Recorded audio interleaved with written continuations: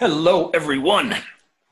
Uh, my name is Ivan Vukpavlovich. I'm here with my good friend Russell P. Firestone. This is, I think, uh, the ninth installment of the Sophisticated Shut In. And what is it? Is it the fourth that we're doing together, Russell? Uh, I believe so. I, Yeah. Not Oh, yeah. Well, going to keep track of it anymore. yeah. Oh. time is, I find time so elastic. yeah, in the twilight zone here. Uh, um, so it is April 22nd of 2020. I anticipate this episode will uh, probably air a week from tonight on the 29th. Uh, and we are still, you know, for, for all the future generations, uh, we are still in the big uh, COVID 19 shutdown. It's like the Spanish flu uh, Mark II. Tonight, we are going to discuss two topics, both related in uh, effort. The effort, one, that it takes to put together outfits on a day to day basis. Uh, if one wants to get into um, classic menswear and look good. And then, secondly, the effort required to maintain that wardrobe. Uh, we touched on maintenance a little bit last time, more in the sense that once you build a basic classic menswear wardrobe, um, it doesn't require much to maintain it from the point of view that high quality clothing which is properly cared for will last a very very long time. So every now and again you might need to replace a particular jacket or a particular pair of trousers or a particular suit but once that basic wardrobe is established unless you want to, like Russell and I, uh, you don't actually need to spend a lot of time worrying about your wardrobe and maintaining its presence, right? And and uh, the number of available garments uh, to you. However, there is the effort that goes into maintaining the well-being of that uh, wardrobe, which does require some day-to-day effort. Um, so I should say that it really helps if you are into clothes. You know, there are a lot of things that both Russell and I enjoy as far as the maintenance uh, is concerned of our wardrobe. Um, they tend not to be the same thing. Like uh, Russell mentioned uh, that he enjoys ironing. You know, uh, he finds it I guess, soothing or therapeutic. I don't know. You, you can speak to that better than I can, and uh, you'll have plenty of opportunity to do so. Um, you know, I actually, uh, I'm not huge into ironing. I, I, do it when I have to. I do it mainly to reinforce creases in my trousers, things like that. I'm, I'm, I'm more of a fan of the quick steam of uh, garments that need it, etc. But we'll talk about what kind of garments require a fair amount of maintenance, what kind of uh, garments do not, and how we can keep uh, efficiently our wardrobe looking good and uh, being ready to go, ready to wear. Mm-hmm. Right. Um, before we get started, as always, uh, I'd like to talk about what I'm wearing, and then uh, I'd like Russell to talk about what he's wearing. I am uh, in what is for me an unusual ensemble because uh, I'm wearing a black shirt, which is something I tend not to do. But I wanted to showcase it with this suit because I think it works particularly well to show the range of the suit that I'm wearing. And this suit is one of my absolute favorite pieces. It's, it, it doesn't really come across in this kind of low quality video, but um, it is my custom Hickey Freeman uh, medium to light silver gray suit, which has um, some silk in it. It's a silk wool blend, very lightweight, um, very comfortable. And generally speaking, a suit of this shade, I would relegate to day wear. You know, to me, it's not dark enough for a true evening suit. However, at more casual evening gatherings, when I pair it with a black shirt, I think it's actually a really great evening look. And I don't know if you can see, I've got my little uh, skull pattern pocket square in there.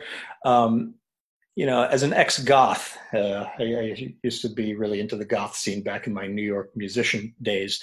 Uh, generally, everyone just wears black, black, black, black, and black, right? Um, this kind of ensemble is something like uh, I would show up to any goth event and uh, stand out, but still be completely within the range of acceptability to uh, the vampires. Um, so the trousers of the suit, of course, do not have belt loops. Today, I'm not even wearing uh, braces with them. Uh, in in this uh, quarantine environment, I've put on enough pounds to where the pants fit quite snugly enough to where they're not moving anywhere. Um, I put nice uh, inch and a half cuffs on this suit because to me it is a slightly more leisurely suit, so uh, a little less formal.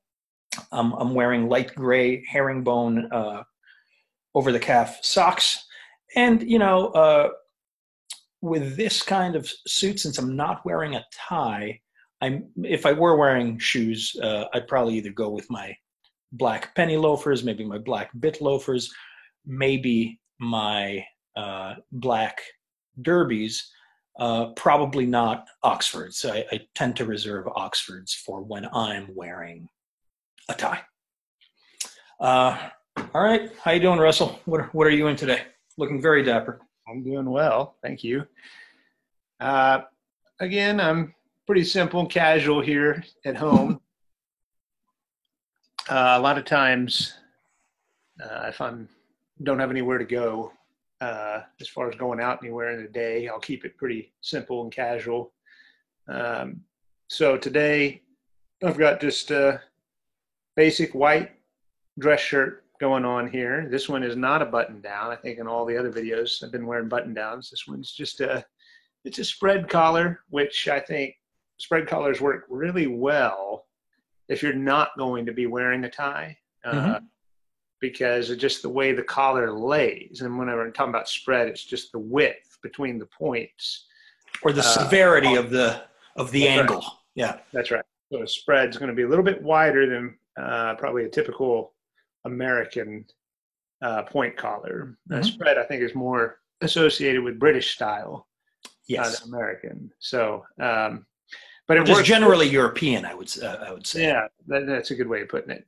Um, but it works really well uh, if you're not wearing a tie and if mm-hmm. you're just going to wear it open, which a lot of people like to do nowadays. And the other nice thing about it is if I was wearing a sport coat or a suit coat or something, the spread collar tucks nicely in under the lapels. Yes, it does. Uh, it's not just going to be flying away on you, or it's not going to look frumpy in some way without a tie. Uh, I'm also wearing, I'll get a little closer, it's an ascot uh, or a cravat. And this is uh, something Ivan and I, uh, we both have an affinity for. Mm-hmm. Um, the ascot to me, and this is something we'll get into on the topic today, is it's a great way. Not very many guys want to wear them anymore. Uh, you don't rarely do you ever see anybody in an ascot. Uh, it is a piece I think that takes a little bit of confidence at first uh, to be willing to wear. But once you get into them, uh, you'll find that they are a great accessory. Yeah, to have in your wardrobe. They uh, they just kind of pull more casual looks together, but they can also be an extremely formal piece too. Um, uh, but they work great. And this again, uh, this is a shirt actually uh, I got with you, Ivan. Um, West and Andrew J. Oh, okay. Uh, but it's a it's their classic cut. A lot of shirts nowadays are a little bit trimmer, and this is the classic cut. And I I think this shirt in a classic cut just works great with a with a cravat because the cravat in itself uh, adds a little touch of elegance, but it's also it's a little bit looser than a tie. oh, uh, yes. It's the more coquettish sister of the tie, so to speak. Yeah. Uh, it's, it's Definitely a, a little more casual. yeah, a little bit more casual, and uh, the fullness of the cut of this shirt, especially when I'm not wearing a jacket, it just adds to that leisurely kind of flowy look that I think looks really nice. Um, but it's definitely not contemporary in the sense that a lot of shirts that uh, most people would want to buy nowadays are going to be hmm a little bit trimmer than this one. But I, you know, I'm always saying, I mean, don't be afraid uh, of the Think to the future. That's right. Well, the future and just uh, I I just I always find that uh, you know people uh, in the past they weren't doing it all wrong. They you know so don't Right. just abandon it just because you think it's old fashioned. Uh, there's a lot of pluses to contemporary cuts. Uh, and then uh, you can't see it, but I'm just wearing navy cotton trousers, and uh, I'm actually wearing just some black uh, full brogue wingtip shoes. Um, nothing too fancy. What I like to do with uh, if I'm going to wear like the cravat or any piece, especially in modern times, that might stand out a little bit more, is to make everything else Simple. very basic and simple. You don't, and that will help carry it off, uh, and it won't attract undue attention. And then, you know, this look actually, um, I mean, all the great dressers, uh, at least people that uh, I consider great dressers, Fred Astaire, Cary Grant. I mean, they all had a cravat in there at some point Oh, yes. and uh, um, and one movie, if you're ever so, so inclined to seek it out, it's great on a great way to wear a cravat. Uh, was actually to catch a thief. There's a lot of good. Um, That sartorial- stripe, uh, striped uh, long sleeve uh, mock neck, right? Well, no, uh, I know which outfit you're talking about in the in the beginning. This was the one I'm thinking of. Was a little bit later, about midway through the film. Uh, Because that's actually a neckerchief anyway, right? yeah. Yeah. Okay. Yeah. Cary was wearing a cravat in there, and uh, with with a full cut white shirt. I mean, he ended up putting a blazer, a gray blazer over it, but it's just a great look that um, you should definitely look into. I wouldn't suggest starting there, because it does take a bit of confidence, uh, and that's one of the keys to pulling it off is that you are confident in the look. Right. But um, but don't ignore it just because you don't see very many other people wearing it. Oh, indeed. It's uh, it's a great reason to do it. Mm-hmm. Um, okay, let's get into the topic of the day. Um, oh, and when you said uh, navy uh, cotton pants, I'm assuming uh, you're talking about uh, chinos, Yes. um, pleated and cuffed. Oh, of course. Okay, yeah, just just making sure. Um, effort. As I mentioned before, it does help if you get into this because I'm hoping that it comes across that both Russell and I, uh, have a lot of fun thinking about clothes, putting together outfits uh, for different occasions, for different moods, how we would like to be perceived and putting together outfits for particular occasions uh, that we feel project a certain way, etc. But I will also say that if you aren't into it and you don't actually want to think about being put together, but still need to be put together, a basic classic wardrobe is probably the easiest way to achieve that. Oh, yeah. So, the way that I approach putting together outfits is generally speaking, it starts with one item. You know, I get up in the morning and as I'm showering and getting my grooming together, um, I start thinking about one piece of clothing that I want to wear that day. Unless it's a special day and I'm either having a meeting with particular person or have a certain event that I'm attending and all of that, those things will generally dictate sometimes even an entire outfit down to the last detail of uh, accessories or sometimes just like oh okay i'm i'm doing a business meeting so i should wear like a charcoal suit with a burgundy tie because i got to close a deal or whatever right? Um, which never happens. Um, but usually if it's just a regular day it starts with you know what? I really want to wear these pants today. Or you know i haven't worn this tie in a really long time. Or whatever this shirt. And then it just goes on from there uh, sometimes like okay well uh, i want to wear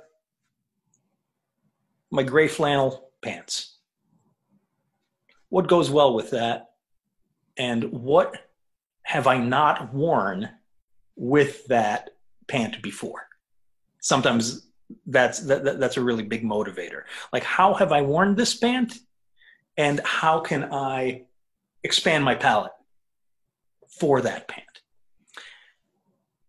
Then, if it's a dress pant, I might see if there's a sports shirt that I have that I can actually pull off with it. Or I'll uh, see if I can dress it up more than I have before. But at any rate, that's that's usually my personal kind of attack um, on such things. However, let's say that you're not stupid and crazy like me, but you want to actually just get on with your life every day. You need to be put together. Um,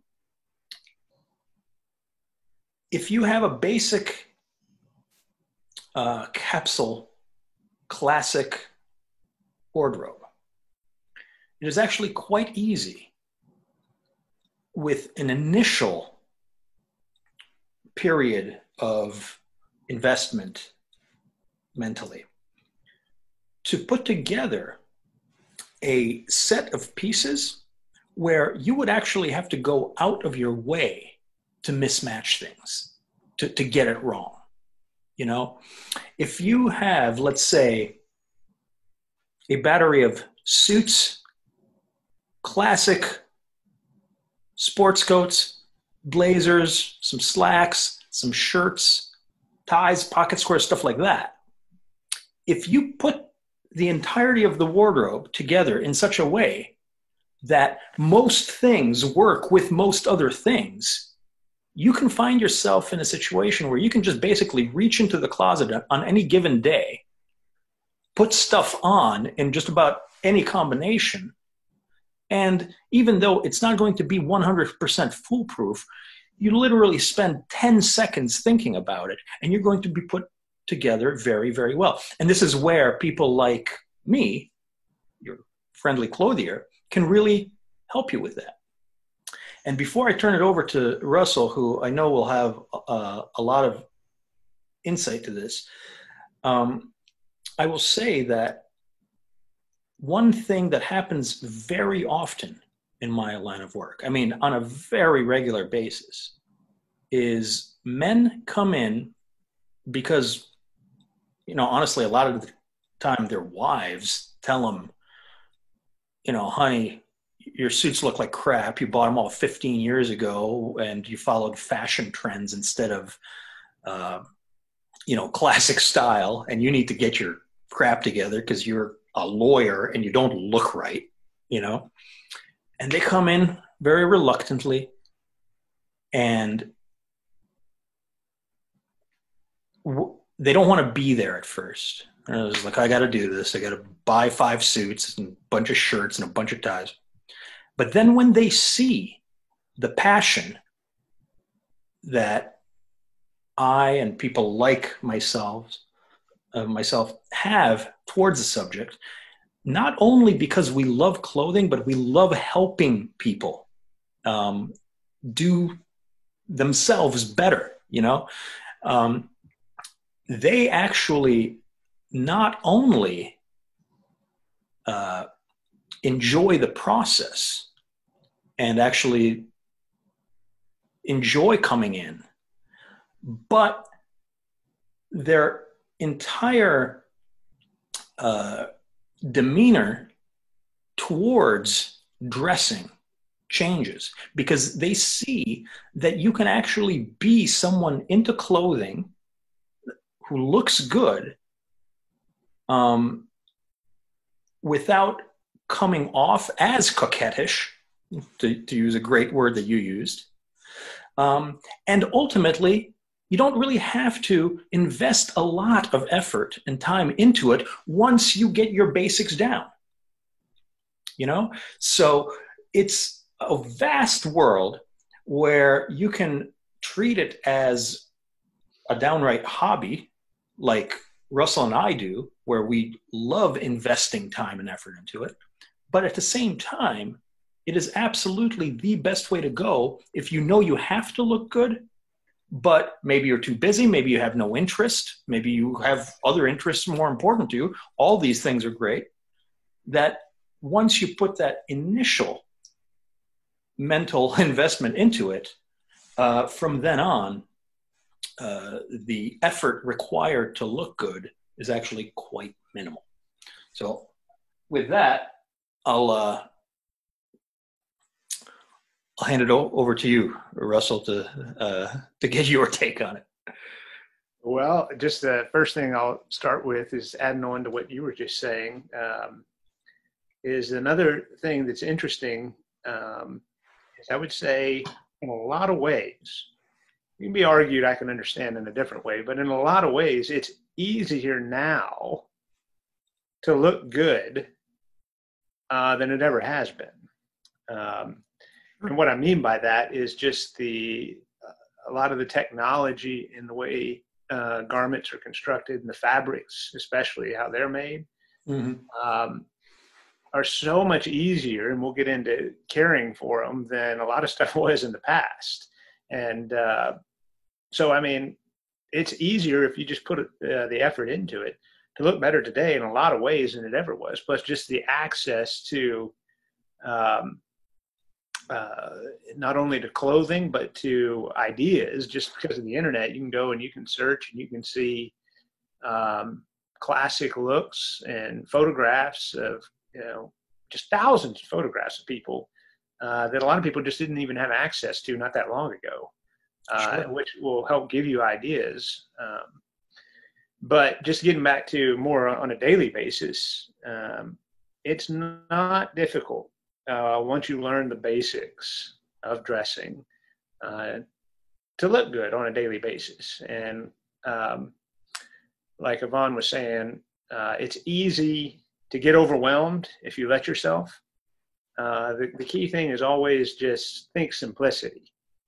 Uh, Ivan and I always joke that, you know, we want to be as boring as possible. Mm-hmm. Um, because what you find is to be well dressed, the more you get into dressing, or to be perceived, I guess, as being well dressed, the more boring you're dressed, generally, you'll find that people just think you're better dressed. And when you're out and about, you'll get comments. Uh, the more loudly you dress, a lot of times uh, people perceive you as not being as well dressed. Uh, but it took more effort to dress loudly a lot of times uh, than it does just to dress very simply. So that's kind of my first thing is tell people just be simple in your thoughts. Don't try and go overboard, but you'll get better the more that you do dress.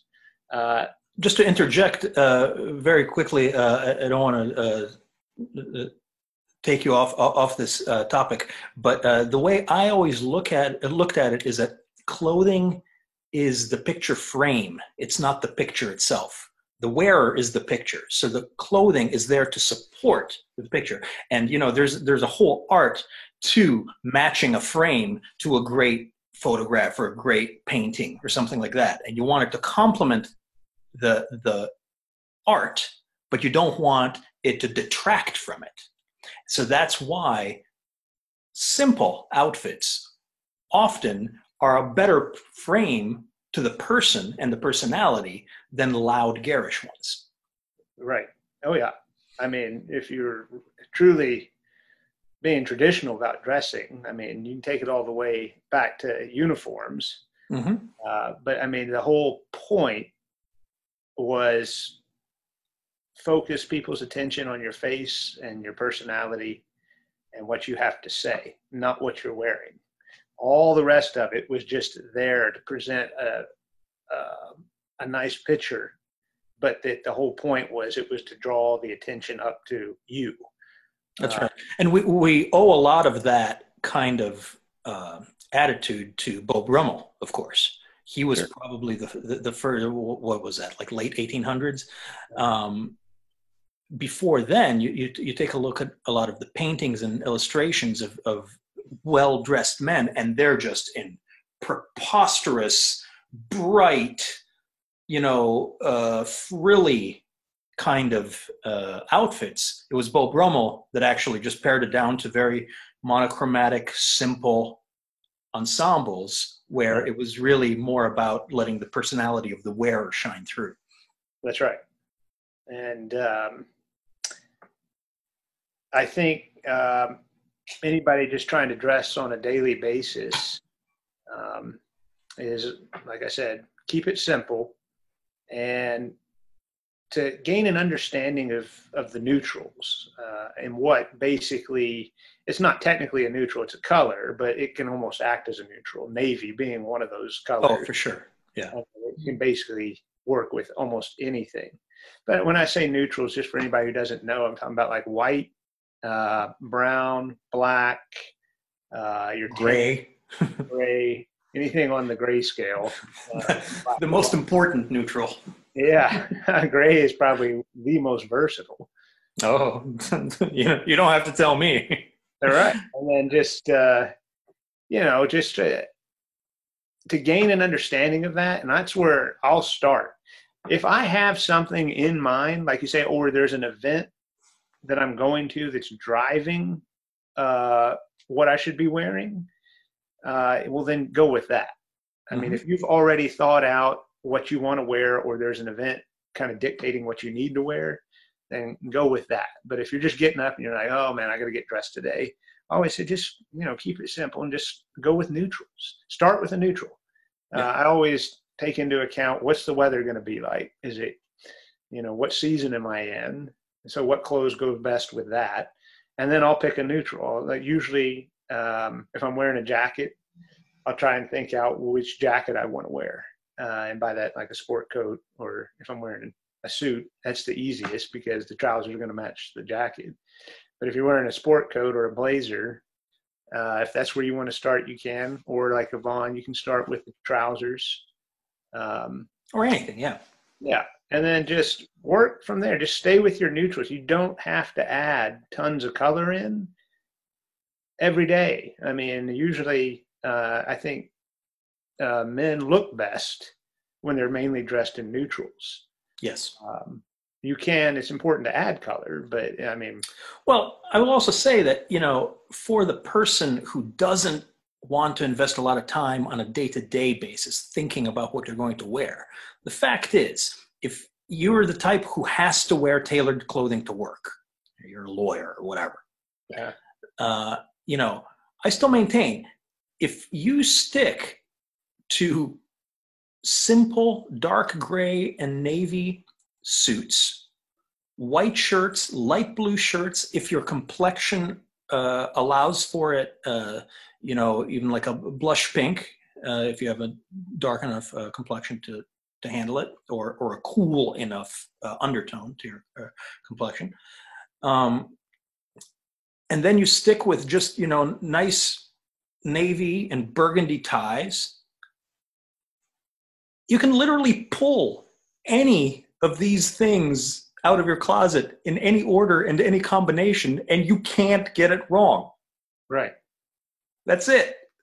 Mm-hmm. Like, uh, also, if you have like a nice navy blazer, pair of charcoal slacks, a pair of khaki slacks, maybe some light gray slacks. You take any of those pants, your navy blazer, any of those shirts, you're done. That's it. It doesn't Well, matter. that- That's, I think, yeah, what we'll touch on more later is, yeah, and building that wardrobe, that's what's important, is you don't want to end up with just, you know, having no guidance or not thinking about it uh, in the beginning to where you just end up with a bunch of orphaned pieces. Right, right. Yeah. That's why uh, it helps to work with a clothier to kind of guide you through that initial outlay to where your garments are going to be so versatile that you can get a lot of different looks out of each one you know? uh, so that uh, you don't have to buy entire separate outfits but elements of outfits that will work with other elements to create multiple outfits right? Because if you're just going outfit outfit outfit outfit each one of those outfits is going to cost x amount of money.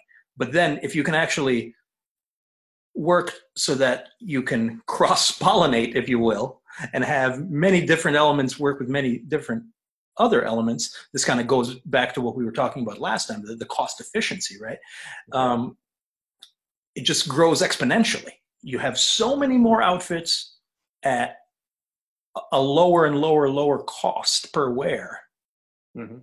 um, just across the board Well, and that's, yeah, exactly. And that's the, that's what fashion is trying to take advantage of is just your lack of understanding of how to dress and, um, you know, the fact that they're putting the look together for you and you have Right. to buy the whole look. And you, a lot of times, if you don't have a, a lot of skill in dressing, every time you're having to buy their whole look. So they're making more versus with class i mean style, to be fair, there are people who are well versed enough in fashion, high fashion, where that's not the case, right? And they Right. are buying individual pieces and putting them together into their own individual look. So I don't want to like poo-poo on any, uh, uh, you know. Uh, but but you're right that in fashion there definitely exists that target audience where a lot of people will be just like, oh, this is the runway look for XYZ uh, designer, XYZ season. And there are a lot of people who just buy into it, hook, line, and sinker, you know, and just buy these outfits. And then that's just what they wear for that season. And then they give them away to Goodwill or whatnot and start over uh, the next season. And uh, there's a lot of money in that. However, there's another thing in fashion, and I, I don't want to diver- diverge too too much from our topic. The fact is that most money in high fashion doesn't come from high fashion. It's the diffusion lines where a designer will put together a series of very high end, very high quality garments every season but most people aren't buying that. They're buying lesser quality versions based on those looks, Mhm. You know, and that's why you know you have, um, you know, uh, different levels of Armani. You know, very few people are actually bu- well. uh, Actually, a lot of people are buying the high end Armani, but then there's like the diffusion Armani brands that aren't the top of the line, which are built like crap. They fall apart, you know, and that's and and they're cheaply and quickly made, but you're still paying a crap ton of money for them, and that's where they're really making the money, Mhm. you know. At any rate, let's move on to the effort in care for the clothing. Mhm. Um, I will say that if you dress truly traditionally and classically, uh, there is an element of care that you don't have to deal with if you're just wearing athleisure all the time. But like you, Russell, mentioned earlier, there have been incredible advances in textiles. And like you mentioned, you're wearing a shirt from Andrew J, right? Mm-hmm. Which is a company I don't think it exists anymore. But uh, there are companies uh, which uh, make similar products. Uh, the, the, you know, leave it to Russell. That's how classic Russell is. you know, he, he exclusively oh, wears uh, wears uh, clothing that is no longer made. Um, so, for example, if you get um, a bunch of classic clothing, first of all, when it comes to any kind of truly tailored clothing, and I'm talking suits, sports coats, slacks, and all of that, we already touched on the fact that uh, most people dry clean that stuff way, way more often than they should or need to. You know, the fact is that all of that stuff is made from high quality moisture wicking materials as long as you let it dry out. You hit it with a steamer to get the major wrinkles out if needed. Um, and in fact, a lot of the, the, the materials these days, just the weight of the garment hanging on the hanger will over a day or two take out most of the major wrinkles. I mean, the, the weaves that uh, the, best mills are achieving these days are incredible. Like the, they are achieving wrinkle resistance without any chemical treatments, strictly through the weave. Um, so, in that regard, unlike a lot of you know, a lot of people, what's the, you know, the de facto uniform these days in, let's say, Silicon Valley is, you know, you're wearing your jeans, you're wearing a t shirt, and you're wearing a hoodie. That t shirt and hoodie and jeans, probably, although people don't wash their jeans, which is, a subject for another day. Um, if you're lucky, they're all cotton. And cotton is a naturally moisture absorbing material. So much like cotton dress shirts, they really should be laundered after every time you wear them. Uh, some people, you know, uh, with cotton sports shirts that aren't stark white, maybe get two wears out of them.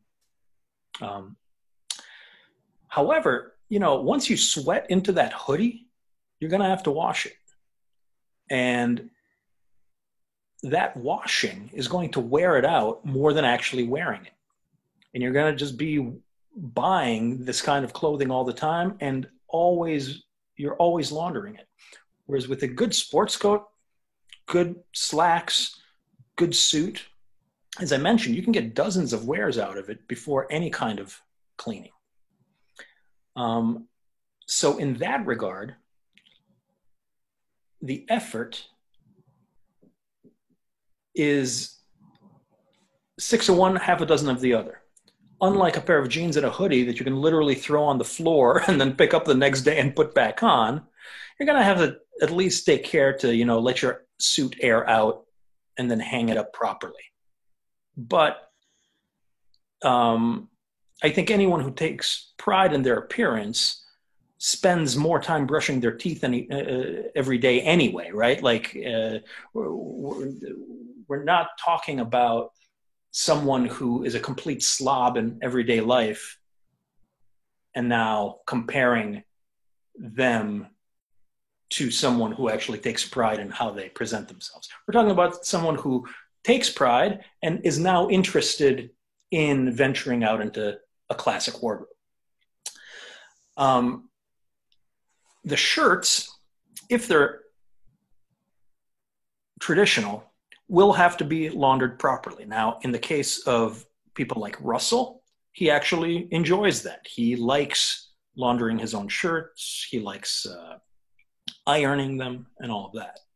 Most people who wear that kind of stuff on a regular basis because they have to, or if, even if they like to, uh, will simply get them laundered. And uh, you know it's that weekly or uh, bi-weekly uh, trip to the dry cleaner where they just drop off a bunch of stuff and they pick it up the day after. So you know it's an errand much akin like running to the bank or getting groceries it's just part of your uh, life routine. And then finally, I wanted to mention because uh, Andrew, uh, Andrew J, but uh, for example, uh, Andrew J was a copy of a, um, a, different brand, Eton, E T O N, which is the shirt I'm wearing. Um, and uh, Brooks Brothers has shirts that share this quality, and, and many other manufacturers make a non-iron shirt. And with that, I, I like non-iron shirts, you know, uh, because you wash them, you hang them to dry, and they're ready to go. So these are the kind of advances. And I, I, I don't know exactly who first uh, came up with this technology. Uh, it may even be Brooks Brothers. I don't know. Um, but uh, for example, Eton is known that's one of their selling points is that it's a true wash and wear shirts and they actually come at it from an environmentalist perspective. They don't want you to be using dry cleaners. So they came up with this technology where you can simply launder a shirt let it dry and it's ready to wear. So if you put a little bit of initial effort into researching these brands or talking to your clothier about it they can actually get you into garments which are going to look fantastic, but really don't require a lot of day to day effort in order to keep uh, looking good. Any uh, anything you'd like to add on that subject? Oh, I was just going to say, you know, it's kind of um, one thing you find with dressing in general, or um, any of what you might consider the more classic arts of manhood, because they're all skills. Um, yes.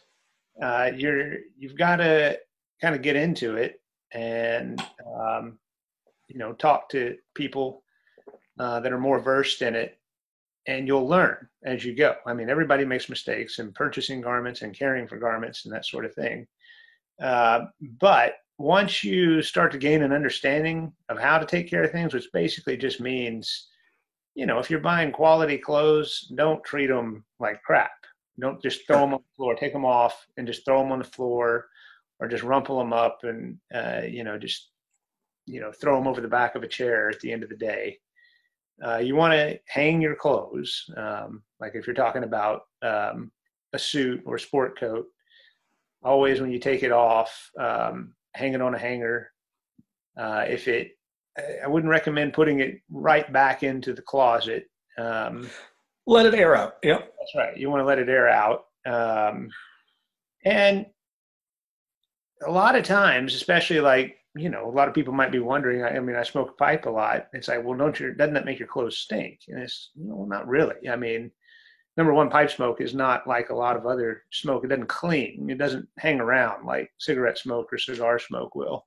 But um, a lot of people might think, well, you have to dry clean your clothes a lot. And it's like, no. Um, a lot of times, if anything has any kind of a smell, just hit it with the steamer. Uh, That's right. Yeah, the steam will a lot of times take that right out, and you don't smell anything. Um, and that's kind of the key is to always, um, you know, whenever you think something needs to be dry cleaned, a lot of times it might just need to be steamed or left steamed and air it out. Yep. Hang and air out. So do that with your clothes. Uh, same thing goes with trousers. Uh, whenever you hang them up, especially if you've been wearing them for a day, a lot of people, you know, the traditional way they think of to hold or to hang trousers is, you know, hang them over the bar, stick them back in the closet. Um, if you'll hang them, uh, if you just get some simple uh, uh, clothespins mm-hmm. or uh, hangers with clips on it, and you just hang the trousers the full length. Uh, either hang them in your closet that way and just leave them like that, or um, if you just want to let them hang that way overnight, it'll take a lot of the wrinkles out. Yes, and I should say, if you are doing that, it's actually better to hang the trousers up by not the waistband, but by the cuff or the hem, because right. then all of the tailoring, which is mostly in the waistband and the crotch and all of that, the weight of that will pull down on the trouser and further take those uh, those uh, wrinkles out and reinforce that crease and stuff like that. Yeah, that's it. Um, and then, uh, I mean, you can take this as deep as you want uh, with the shirts. like Ivan was saying, um, I've always been somebody who likes to wear an iron shirt. It's just a thing with me. Um, and I've ironed so many shirts, just thousands of shirts in my lifetime, that it's not that big of a deal. Um, now, somebody who's not used to ironing, it's going to be a pain in the ass. I mean, there's yeah. no way around that. Yeah, I, I don't like it personally. Right. Uh, but you can buy shirts um, that are non-iron um, that don't require uh, you to iron them every time you wear them, and you can just wash them yourself, and that's the key. Or you know, if you think about it, you know, if you buy like just an all cotton shirt, it's going to be a good shirt, but if it's not, um, you know, treated in any way, it'll need to be ironed. And if you don't want to do it, you know, if you take it to have it laundered, it's not super expensive to have no. it laundered and pressed. I personally, I like to iron my own stuff because you have to. Then you get into the whole thing about trying to find a decent cleaners. Yeah. A lot of them are pretty bad nowadays, and they can ruin your clothes. Yes. Uh, and or you know you'll start noticing buttons cracked on your shirts and that sort of thing. Yeah. That's why I like. I just like to take care of my own stuff. Uh, for me, the wardrobe it's an investment, and it's something I care about and I appreciate. So I don't mind taking care of it myself. Um, but yeah, don't be dry cleaning your clothes, um, like your your wool garments all the time. That'll that's like Ivan said, that'll wear them out faster than anything. Yeah.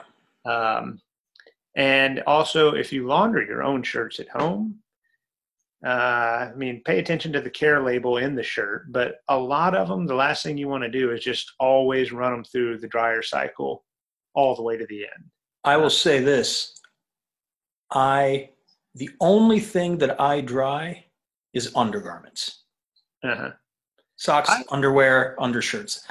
I I avoid the dryer as if it were the plague because that is really what wears out a garment. Oh, for sure.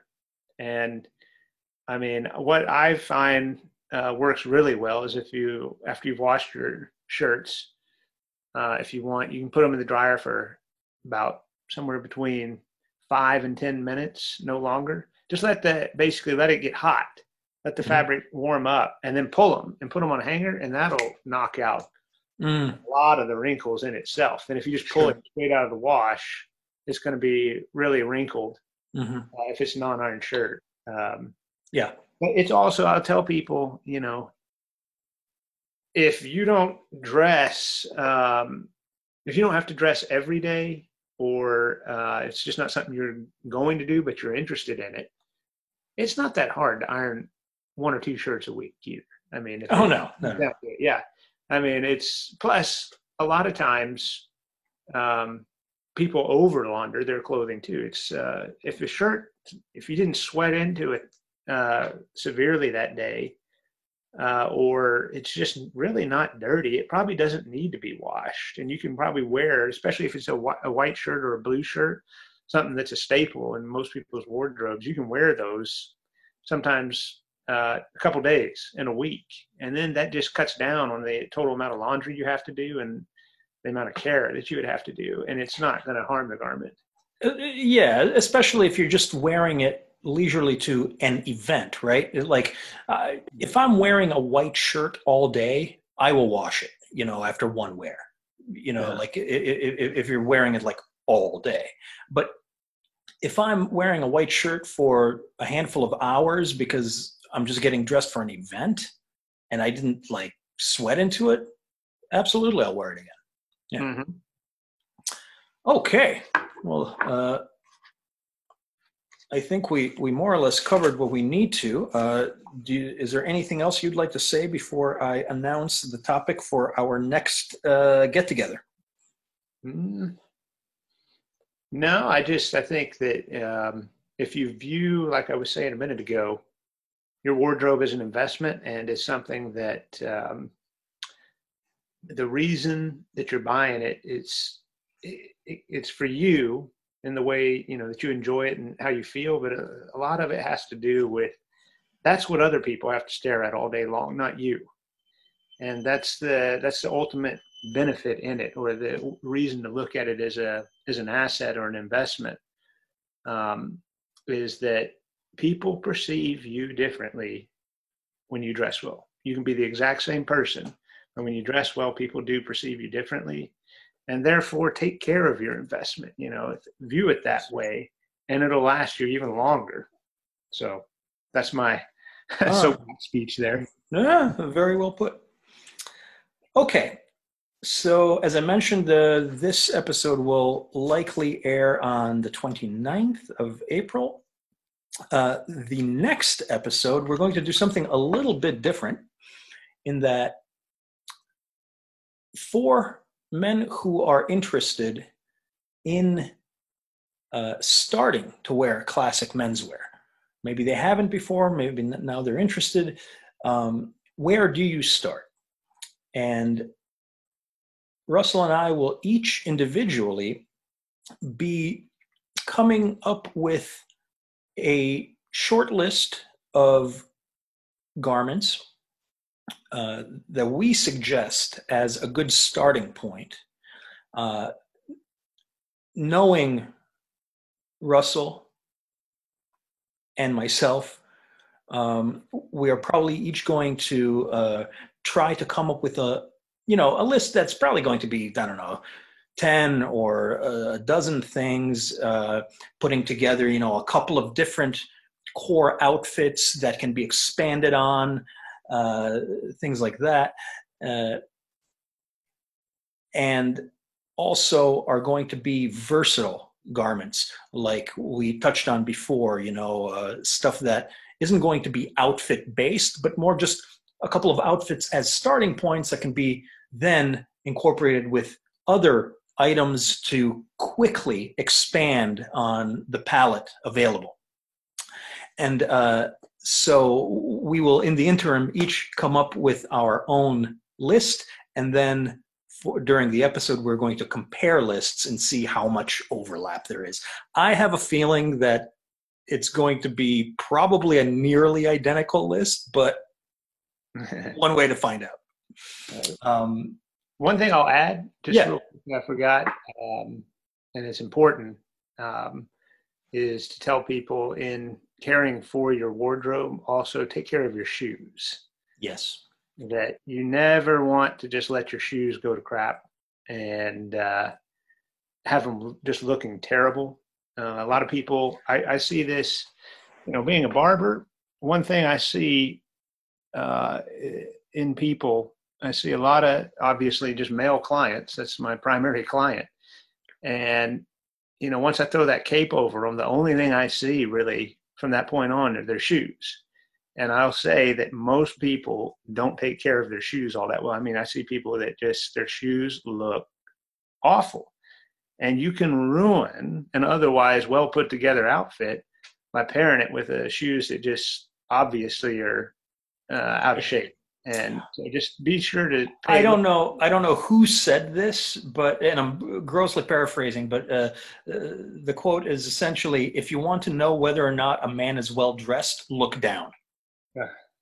oh for sure you know I did a whole uh, episode on my shoe collection, and I didn't really touch upon this, but you know, since this is the care and effort episode, we should say that actually taking care of a high quality pair of dress shoes is actually very, very simple.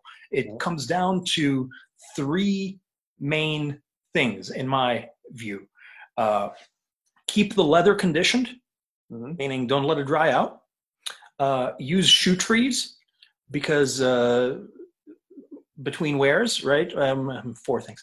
Uh, uh, because shoe trees will uh, take out any uh, perspiration, moisture, and the cedar, which they tend to be made out of, uh, will take care of any odors. Use shoe horns so that you're not crushing the back of the shoe when you're putting them on.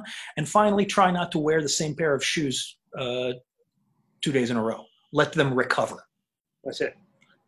If you do that, and then every once in a while resole them and i'm talking like every you know i mean i have i don't know probably about 15 pair of dress shoes i resole shoes like i because my rotation is such that i'm almost never wearing any one particular pair of shoes i almost never need to resole them but uh, yeah uh, shoes are an incredibly easy thing to take care of but so many people drop the ball. Oh, for sure. Well, and again, it's because it's it's just it's another skill. It's not hard. Yeah. Uh, but it's just something that you got to, at first glance, seems like, well, I don't know how to take care of a quality leather shoe. And so it'll take just a little bit of time and effort. But if you have somebody who knows how to knows what they're doing with that, it's it's real easy to learn, and it's it's not hard to do. It takes just a few minutes, and you can you know if you just like you say at least conditioning the leather, and if you want to shine your shoes, uh, which I think um, like I have more of an affinity for putting a shine on my shoes, I think, than you do. Yeah, I'm not. I'm not a big fan. I, I, I actually prefer a more natural, uh, you know, uh, look where you where you see the, the, the texture and the grain of of a leather shoe. But I understand the desire for a nice shine too. Like, I mean, oh, sure. they're both great great looks. I just prefer the other, which which is good for me because uh, I actually only really need to condition my shoes and then hit them with a nice horsehair brush, and I'm good to go. You know? Oh yeah.